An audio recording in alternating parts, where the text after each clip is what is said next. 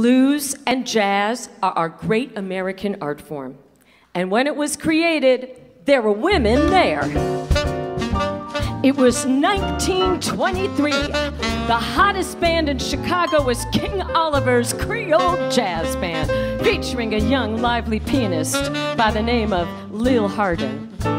Now, Joe needed a strong second trumpet, so he telegraphed down to New Orleans for a phenom he knew named Louis Armstrong. And he, in turn, was entirely bewitched by her, a young, refined lady that loved jazz so much they called her uh, a hot Miss Lil. Tammy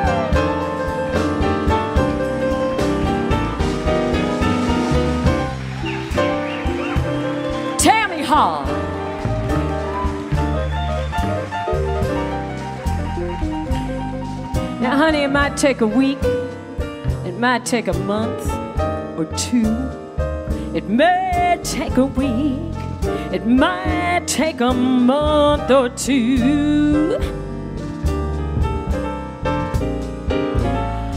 But that day you quit me, honey, it's gonna come on home to, to haunt you. Oh,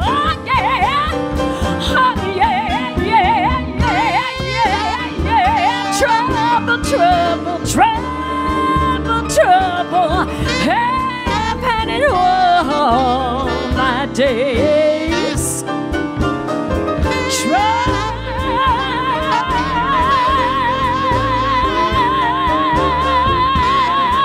trouble. I've had it all my days. And it seems like trouble's gone. Follow me to my grave.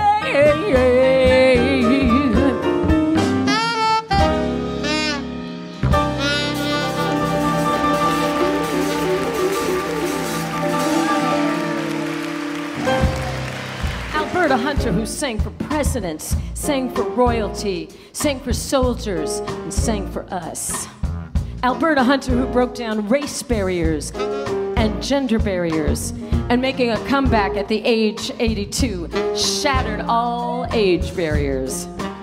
Here's a song she wrote in 1978 for Robert Altman. Just seems to sum it up just right. Well, you may think your journey's over. You're weary, worn, and nothing seems the same. Yeah, you may think your journey's over. You're weary, worn, and nothing seems the same.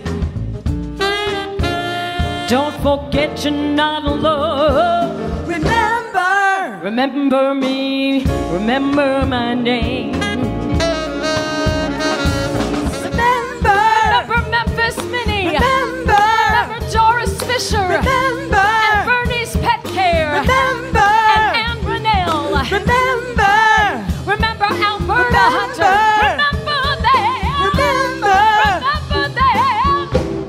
Remember. Remember them. Remember, Remember their, names.